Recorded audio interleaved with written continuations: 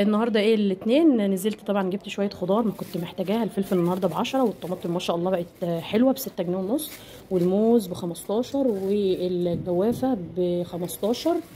اهي جوافة حلوة قوي على فكرة اللي لونها بتكون أبيض دي بتبقى تحفة بصراحة.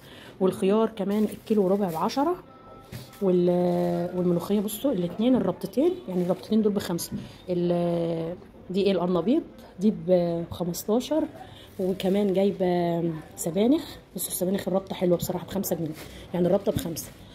وجايبة طبعا لزوم السبانخ بجيب لها الكزبرة وكمان بجيب لها الشبت دي كده المشتريات بتاعتنا النهارده. النهارده يوم الاثنين يا جماعة. دي طبعا الصبح كده شايفين؟ بس أتمنى طبعا إن الأسعار ترخص كمان.